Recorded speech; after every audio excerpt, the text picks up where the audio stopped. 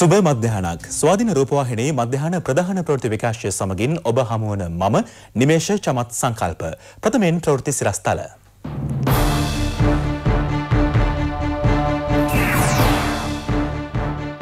තාප්පෙන් පනින්න ගිය මහර රැඳවියෙක් මරුට ජෙලර්ලා දෙන්නෙකුට තුවාලයි. සම්බුදු දෙමගුල නිවෙස් තුළටම වී සමරන්න ප්‍රයිනිකායික මහනා හිමිවරුන්ගෙන් ඉල්ලීමක්. ඊයේ රාත්‍රියේදී පහළවක් හමුවෙයි. කොරෝනා රෝගීන් ගණන හත්සිය පහක් වෙයි. පරිප්පු සැමන් සහ ලොකුලූන් සඳහා පැන වූ උපරිම සිල්ලර මිල ඉවතට. වැඩිමිලට පොහොර වික්කොත් වැඩ වරදින ලකුණු. කලාකරුවන්ට අතහිත දෙන්න මනුෂ්‍යත්වයේ සත්කාරය අදත් දොරින් දොරට. කොරෝනාව අස්සේ උතුරු කොරියාවත් දකුණු කොරියාවත් ඇවිල්ලෙන ලකුණු.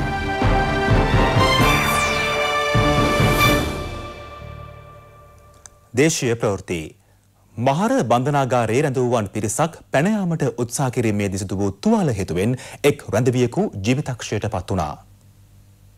අද අලුයම දෙකයි තිහත් තුනත් අතර කාලයේ රැඳවන් හත් දෙනෙකු ලනු සහ බෙඩ්ෂීට් ආධාරයෙන් බන්ධනාගාරයෙන් පැනයාමට උත්සාහ කර ඇති බවයි පොලිසිය පවසන්නේ. එම අවස්ථාවේ රැඳවන් පැනයාම වැලැක්වීම සඳහා බන්ධනාගාර ආරක්ෂක නිලධහරින් ඉහළට වෙඩි තබා තිබෙනවා.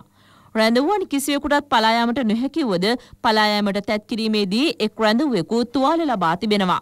ඔහු රාගම රෝහලට ඇතුළත් කිරීමෙන් පසු මියගොස් ඇති බවයි පොලිසිය පවසන්නේ. එම අවස්ථාවේ රැඳවුවන් සහ බන්ධනාගාර නිලධහරින් අතර සිදු පොරබැතීමක් හේතුවෙන් බන්ධනාගාර නිලධහරින් දෙදෙනෙකුද තුවාල ලබා රාගම රෝහලට ඇතුළත් කර සිටිනවා. මියගිය පුද්ගලයාගේ දේහය පිළිබඳ මහිස්ත්‍රාත් පරීක්ෂණ වත්තල මහිස්ත්‍රාත් විසින් සිදු කෙරනු ඇති. රාගම පොලිසිය මේ පිළිබඳ වැඩදුර විමර්ශන සිදු කරනවා. නිවෙස් තුළම රැඳී සිටමින් වෙසක් පුණ්‍යෝත්සවය සැමරීමට කටයුතු කරන්නයි ත්‍රෛනිකායක මහානායක ස්වාමීන් වහන්සේ සැඳහැවතුන්ගෙන් ඉල්ලා සිටිනවා. සම්බුදු තෙමගුල සිදු වූ වෙසක් පුන් පොහෝදිනය සමස්ත ලෝකවාසී බෞද්ධ ජනතාවගේ අති පූජනීය ශ්‍රේෂ්ඨතම අනුස්මරණීය පුණ්‍යෝත්සවයයි. මිදින දාන ශීල භාවනා ආදී ආමිසහා ප්‍රතිපත්ති පූජාවන් උත්කර්ෂවත් ලෙස පැවැත්වීම ලෝකවාසී බෞද්ධයන්ගේ සිරිතයි. එහෙත් මෙවර කොරෝනා වසංගත තත්ත්වය හේතුවෙන් ජනතාවගේ ජීවිතාරක්ෂාව සලසාලීමේ අපේක්ෂාවෙන් නිවෙස්වලට පමණක් සීමා වෙමින් වෙසක් පුණ්‍යෝත්සව පින්කම පැවැත්වීමට තීරණය කර තිබෙනවා. එම වැඩපිළිවෙල බුද්ධ ශාසන අමාත්‍යාංශය මගින් ජනතාවට දැනුම් දී ඇත්තේ ත්‍රිනිකායික මහානායක ස්වාමින් වහන්සේලාගේ අනුශාසනා පරිදි බවයි උන්වහන්සේ නිකුත් කළ වෙසක් දින පණිවුඩයේ දැක්වෙන්නේ. ඒ අනුව දිවයිනේ සියලු විහාරස්ථානවල සහ ඉන් පිටත ජනතාව එක්රැස් වනසේ දාන ශීල භාවනා වෙසක් තොරණ ආදිය සංවිධාන නොකළ යුතුයි. තම තමන්ගේ නිවාසවලම රැඳී සිටමින් නිවස තුළදීම ආමිස හා ප්‍රතිපත්ති පූජාවන්ගෙන් පූජෝපහාර දක්වමින් මෙම උතුම් තෙමගුල සැමරීම වඩාත් යෝග්‍ය බවයි මහනා හිමිවරුන් අවධාරණය කර සිටින්නේ. මල්ලතු පාර්ශ්වයේ මහානායක අතිපූජ්‍ය තිබ්බටුවාවේ ශ්‍රී සුමංගල අස්කිරි පාර්ශ්වයේ මහානායක අතිපූජ්‍ය වරකාගොඩ ශ්‍රී ඥානරතන අමරපුර නිකායේ මහානායක අතිපූජ්‍ය කොටුගොඩ ධම්මාවාස සහ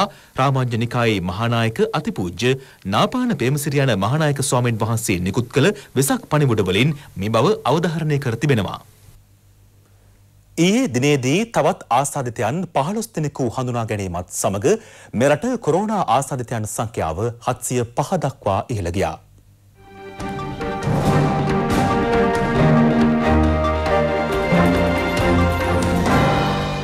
ඊයේ දිනේ හඳුනාගත් කොරෝනා ආසාදිතයන් පහළොස් දෙනා අතරින් දොළොස් දෙනෙකු නාවික හමුදා සාමාජිකයන් වනවා. සෙසු තිදෙනායම නිලධහරින්ගේ සමීපතමයන් බවයි සෞඛ්‍ය අංශ පවසන්නේ. මෙවන විට රෝහල්ගතව ප්‍රතිකාර ලබන කොරෝනා ආසාධිතයන්ගේ සංඛ්‍යාව පන්සිය විසිහයක්. තවත් එකසි හැත්තෑ නව දෙනෙකු වෛද්‍ය අධීක්ෂණය යටතේ පසුවන අතර සුවය ලබා රෝහල්වලින් පිටවගිය සංඛ්‍යාව එකසිය හැත්තෑ දෙකක් බවයි වසංගත රෝග විද්‍යාංශය පවසන්නේ.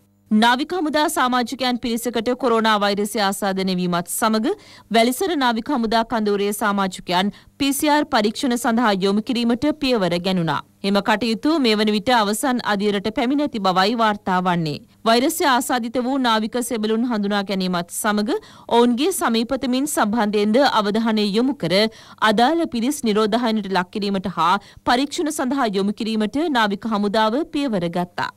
අද දින උදෑසන වන විට කොවිඩ් දහනමය ආසාධිතින් හැටියට රෝගීන් පහළොස් දෙනෙක් වාර්තා වෙලා තියෙනවා. මේ පාලොස් දෙනාම නාවික හමුදාවට සම්බන්ධ අය. ඒ පහළුවෙන් දහ දෙනෙක් නාවික හමුදාවේ නිවාඩු ගොස් පැමිණි අය විවිධ ප්‍රදේශවලට. ඒ වගේම දෙදෙනෙක් වැලිසර නාවික හමුදා කඳුරේ අය. ඒ වගේම තවත් තිදෙනෙක් නිරෝධායන මධ්‍යස්ථානයක මේ නාවික හමුදාවේ ඥාතින් වශයෙන් සැලකෙන කීප දෙනෙක්. එතකොට ඊයේ දිනයේ වාර්තාගත PCR පරීක්ෂණ ප්‍රමාණයක් කරලා තියෙනවා මේක තමයි දැනට කිරී ඇති වැඩිම සංඛ්‍යාව 1681ක්. එතකොට 1681ක් කිරීමේදී විශේෂයෙන්ම කොළඹ වෛද්‍ය පර්යේෂණ ආයතනය වාර්තාගත සංඛ්‍යාවක් කරලා තියෙනවා 650කට අධික සංඛ්‍යාවක්. මේක තමයි එක් ආයතනයක් විසින් මේ දක්වා කර ඇති වැඩිම ප්‍රමාණය. ජායල සුදුවැල්ල ප්‍රදේශයේ කොරෝනා වෛරසය ආසාධනය වී සුව වූ පුද්ගලයෙකුට යළි වෛරසය ආසාධනය වී ඇති බවට පළවන වාර්තා සම්බන්ධයෙන්ද සෞඛ්‍ය අධ්‍යක්ෂ ජෙනරාල්වරයා මෙසේ අදහස් පළ කළා.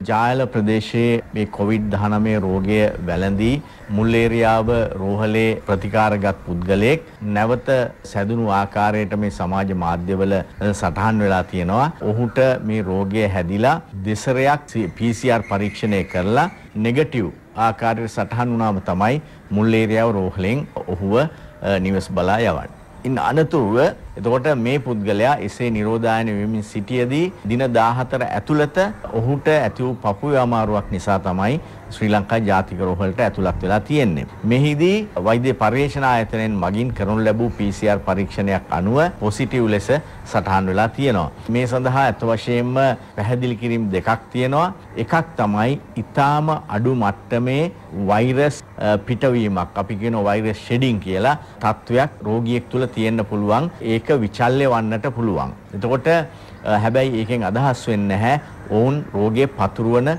පිරිසක් විදියට. ඊළඟ පැහැදිලි කිරීම තමයි මියගිය RNA කොටස් මේ පරීක්ෂණයට අහුවන්න පුළුවන්. වෛරස් සක්‍රිය තත්ත්වේ නෑ. නමුත් මියගිය RNA වෛරස් වල RNA කොටස්. පැහැදිලිව අප කියනවා මෙය නැවත රෝගය වැළඳීමක් නොව මේ රෝගය වැළඳුණු පුද්ගලයාට අර මම කී ආකාර දෙකෙන් එකකට ඇති වූ තත්ත්වයක්.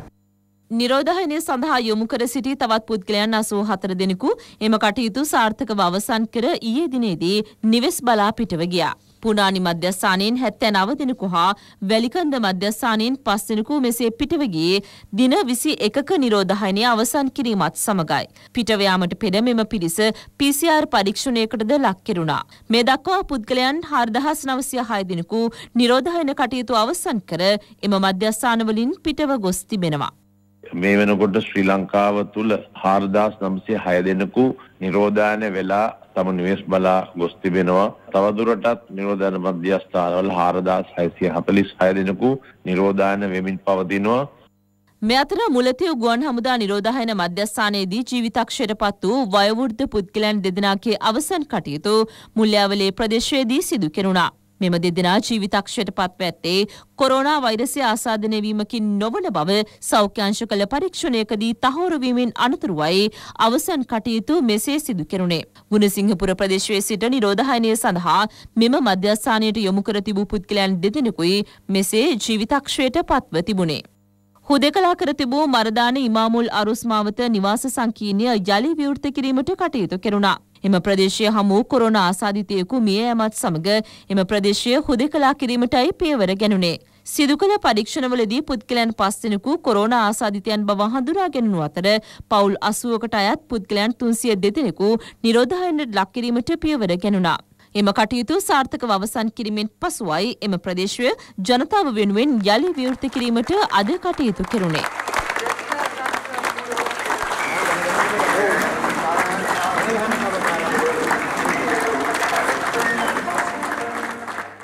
කොවිD-19 ගෝලිය වසංගතය වසර දෙදහස් විසි දෙකතෙක් පැවතිය හැකි අතර ලෝක ජනගහනයෙන් බහුතරයක් ඊට ප්‍රතිශක්තිය ගොඩනගන තෙක් පාලනය කිරීම දුෂ්කරවනු ඇති බව ඇමරිකානු පර්ේෂකයන් පිරිසක් පවසනවා. මිනසෝටා සරසවියේ බෝවන රෝග පර්යේෂණ සහ ප්‍රතිපත්ති මධ්‍යස්ථානයේ පර්යේෂකයන් සඳහන් කළේ වසංගත තත්ත්වය මාස දහටක සිට මාස විසි හතරක දක්වා කාලයක් පැවතිය හැකි බවයි. එම කාලය තුළ මිනිස් ජනගහනය අතර වෛරසයට එරෙහිව ප්‍රතිශක්තිය ක්‍රමයෙන් ගොඩනැගනු ඇති බවයි ඔවුන්ගේ විශ්වාසය. කොවිD-19 හෙවත් නව කොරෝනා වෛරසය මේ වන විට ලොවපුරා තිස් හතර ලක්ෂ අසූ හතර දහස් එකසිය හැත්තෑ හය දෙනෙකුට ආසාධනය වී තිබෙනවා. සොය ලබා ඇති රෝගින්ගේ සංඛ්‍යාව එකොළොස් ලක්ෂ විසි එක්දහස් පන්සිය තිස් නවයක්. වෛරසය ආසාධනය හේතුවෙන් මරණ දෙලක්ෂ හතලිස් හතර දහස් හත්සිය හැත්තෑ අටක් වාර්තා වනවා. රටවල් සහ ස්වයං පාලන ප්‍රදේශ දෙසිය දොළහක වෛරසය ව්‍යප්ත වී ඇති බවයි ලෝක සෞඛ්‍ය සංවිධානය පවසන්නේ. COVID-19 වෛරසය හේතුවෙන් ඇමරිකාව තුළ මියගිය පුද්ගලයන්ගේ සංඛ්‍යාව හැට හද්දහස ඉක්මවා තිබෙන්නේ ගත වූ පෑ විසි හතර තුළ වාර්තා වූ නව මරණ එක්දහස් සයිසියානුව එකත් සමගයි. මේ දිනවල ඇමරිකාවට දැඩි හිරු රශ්මියක් පතිත වනවා. ඒට මිනිසුන්ගේ ආකර්ශණය වීම පනවා තිබෙන නීති සීමාවන් ඉක්මවා යනවා. පසුගිය සති හයකට පමණ පෙර ඇමරිකාව තුළ තිබූ තම සුපුරුදු චර්යා රටාවලට නැවතත් ජනතාව පැමිණිමෙන් තිබෙන අතරතුර ප්‍රාන්ත රැස්සක ජනතාව පනවා ඇති නීති ලිහිල් කරන ලෙස විරෝධතාද සංවිධාන කළා. තවදුරටත් ඉලිනොයිස් කැලිෆෝනියා සහ මිචිගන් යන ප්‍රාන්තවල ජනතාව පනවා ඇති සීමාවන් ලිහිල් කරන්නට කියලා ඉල්ලා සිටිනවා. ඒ අතරේ නීත්‍යානුකූල නියෝග නොතකා ක්‍රියා කළ පුද්ගලයින් රසක් පොලිසිය විසින් අත්අඩංගුවට ගත්තා කියලා අද දවසේදී අපිට අහන්නට ලැබුණා වාර්තා වුණා. මේ අතර ස්පාඤ්ඤයේ හෙට සිට මහජන ප්‍රවාහන සේවාවලදී මුඛ ආවරණ පැළඳීම අනිවාර්ය කර තිබෙනවා. ඊයේ සිට වැඩිහිටියන්ට ව්‍යායාම සඳහා පිටතට පැමිණීමට අවසර ලබා දීම හේතුවෙන් සති හතකට පසු විශාල පිරිසක් එලිමහනේ ව්‍යායාම් කටයුතු වලට සහභාගී වී සිටිනු දක්නට ලැබුණා. වැඩිහිටි ජනතාවටද එලිමහනේ ව්‍යායාම සඳහා ඉඩ ප්‍රස්තාව ලබා දීමටත් එරට රජය කටයුතු කර තිබෙනවා. තමා බරපතල ලෙස වෛරස් රෝගයෙන් පීඩා විඳිමින් සිටින අවස්ථාවේදී මෙම රෝගයෙන් පීඩා විඳින අනෙක් පිරිස්වල දුක් වේදනා පිළිබඳ අවබෝධ කරගත් බවත් බ්‍රිතාන්‍ය දෙපයින් නැගී සිටීමට කටයුතු කරන ආකාරය පිළිබඳවත් සැලසුම් කළ බව බ්‍රිතාන්‍ය අග්‍රාමාත්‍යවරයා පවසනවා. තමා දැඩි ලෙස රෝගාතුරව සිටින විට ඇප කැපවී කටයුතු කළ වෛද්‍යවරුන්ට උපහාරයක් ලෙස අලුත උපන් තම බිලිඳාට විල්ෆ්‍රඩ් ලෝරි නිකොලොස් ජොන්සන් යන නම තැබීමට කටයුතු කළ බවත් ඔහු වැඩිදුරටත් ප්‍රකාශ කොට තිබෙනවා. ලොවපුරා කොවිD-19 ආසාධිතයන් වැඩිම සංඛ්‍යාවක් වාර්තා වූ රටවල් දහය අතරින්ද මේ වන විට වෛරසය ව්‍යාප්තිය ආරම්භ වූ චීනය ඉවත් වී තිබෙනවා. ඒ අනුව මේ දක්වා වැඩිම ආසාධිතයන් වාර්තා වී තිබූ දසවැනි රට ලෙස චීනය පසු කරමින් ඉදිරියට පැමිණ තිබෙන්නේ බ්‍රසීලයයි. මේ වන විට බ්‍රසීලයේ වෛරසය පැතිරීම වේගවත් වී තිබෙනවා. මරණ සංඛ්‍යාව හයදහස සීමාව ඉක්මවා යාමත් සමග මිනි පෙට්ටි අටක් දක්වා සිරස් අතර තැබීම සඳහා සිරස් ව්‍යූහයෙන් යුත් විශාල විශාල සුසාන භූමියක් බ්‍රසීලයේ ඉදිකර තිබෙනවා.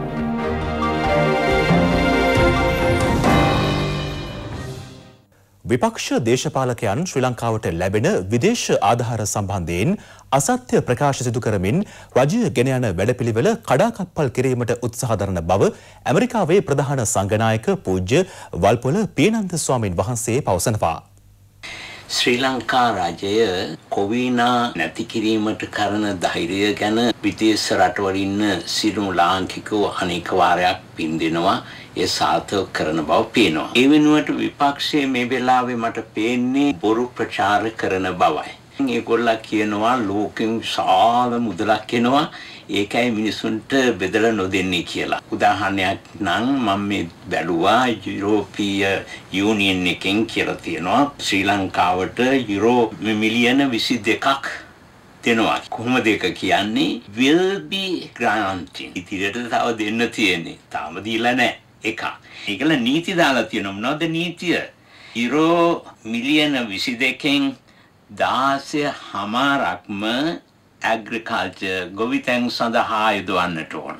ටුවරිසම් වෙනුවෙන් මේ මිලියන තුන හමාරක් යොදන්නට ඕන. එහෙම තියෙති ඇයි අපේ මේ දේශපාලකෝ රජයට සල්ලි ලැබෙනවා බෙදා දෙන්නේ නැහැ කියලා බොරු ප්‍රචාර කරලා මේ වෙලාවේ මේ වැඩ කඩා කප්පල් කිරීම ඉතාම වැරදි.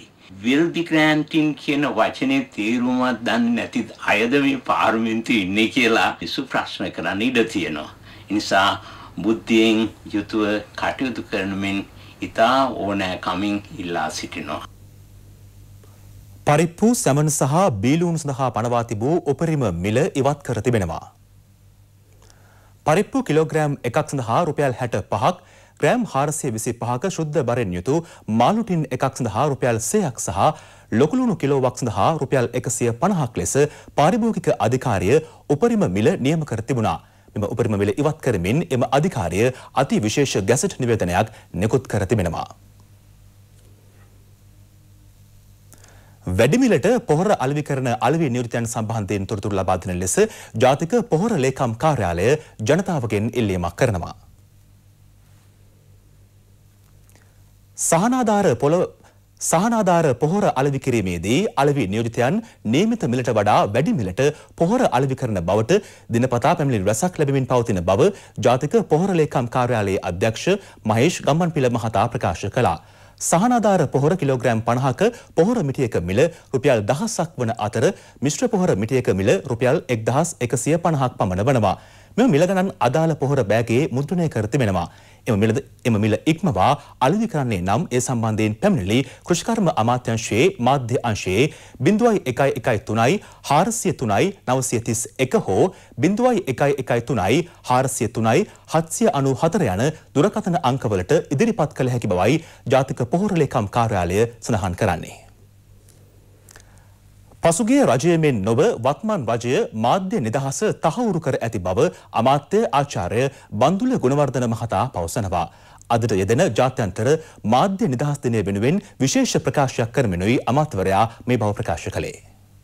අපගේ රජයේ බලයට පත්වීමෙන් පසු එතෙක් පැවතුන මාධ්‍ය වාරණ සීමා කිරීම දේශපාලන දඩයන් හා පලිගැනීම් සඳහා මාධ්‍ය යොදා ගැනීමේ සංස්කෘතිය මඩ දේශපාලන සංස්කෘතිය සම්පූර්ණයෙන් වෙනස් කරන්න මාධ්‍ය විෂයභාර අමාත්‍යවරය වශයෙන් අපිට හැකිවීම පිළිබඳ අපි බෙහෙවින් සතුටු වෙනවා. පසුගිය රජය සමයේදී කිසිම රාජ්‍ය මාධ්‍ය ආයතනයක දොරටු විපක්ෂයට විවෘත නොවනා පමණක් නොව හිටපු රාජ්‍ය නායකවරුන්ට හිටපු රටට වගකිව යුතු පුරවැසියන්ට රණ විරුවන්ට රටේ බුද්ධ්‍යංශවලට එලව එලවා පහරදීම සඳහා රාජ්‍ය මාධ්‍ය යොදාගත්ත සංස්කෘතියක් තුළ තමයි ගෙවුණ වසර පහ ගත කළේ. සෑම මාධ්‍ය ආයතනයකටම නිදහස දීලා තිබෙනවා රාජ්‍ය මාධ්‍ය ආයතන වලටත් විපක්ෂයේ ප්‍රවෘත්ති සාකච්ඡා විපක්ෂයේ සම්මුඛ සාකච්ඡා විපක්ෂයේ වාද විවාද වැඩසටහන් යනාදියට රාජ්‍ය මාධ්‍යවල සහභාගී කරගන්න ඉඩ ප්‍රස්ථා ලබා දීමෙන් පසුගිය රජය සමග සාපේක්ෂව සැසඳීමේදී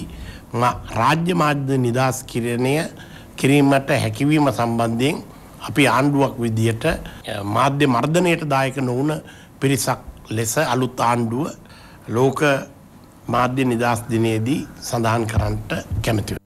පුරන් කුඹුරු අස්වැද්දීමට ගොවි ජනතාව මේ දිනවල වැඩි උනන්දුවක් දක්වනවා.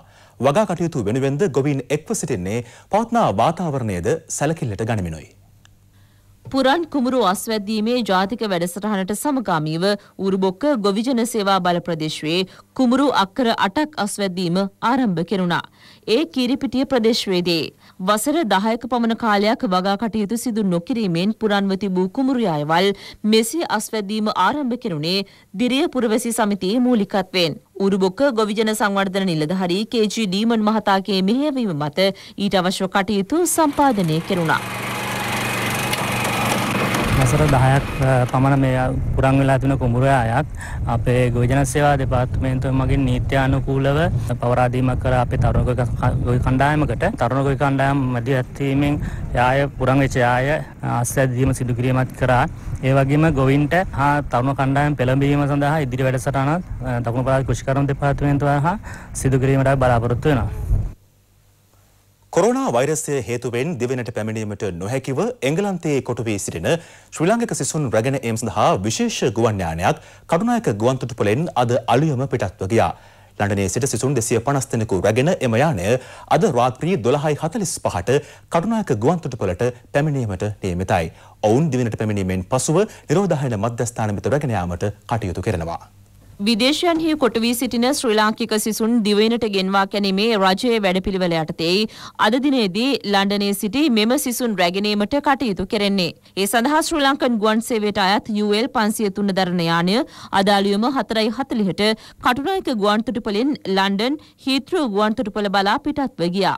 අද දිනේදී සිසුන් 250 දෙනෙකු මෙසේ රැගෙනීමට නියමිත බවයි වාර්තා වන්නේ. ඒ අනුව අද හෙට සහ අනිද්දා බ්‍රිතාන්‍යයේ සිට සිසුන් ගෙන්වා ගැනීම සිදු කෙරෙනවා. කොරෝනා ව්‍යාප්තිය මර්ධනය කිරීම සඳහා දැනට කොළඹ බණ්ඩාරනායක ජාත්‍යන්තර ගුවන්තොටුපළ වසා දමා ඇති හේයින් බ්‍රිතාන්‍යයේ සිරිවි සිටින ශිෂ්‍යයන් ගෙන්වා ගැනීමට විශේෂ ගුවන් යානයක් එවීමට ශ්‍රී ලංකා රජය කටයුතු යොදා තිබෙනවා. ඒ අනුව ප්‍රථම ගුවන් යානය අද උදේ ලන්ඩනයේ සිට කොළඹ බලා පිටත් වුණා.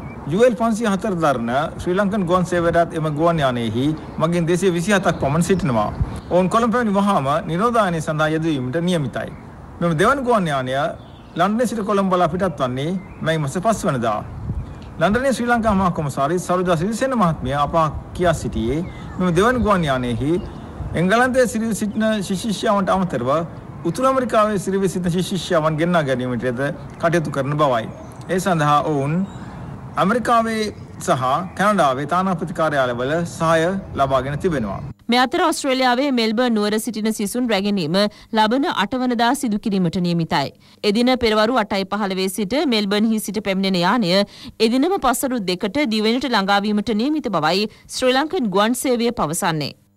ඒ සමගින් ස්වාධීන රූපවාහිනී මධ්‍යහන ප්‍රධාන ප්‍රති විකාශය අදට අවසන්. සුබ දවසක් ඔබට.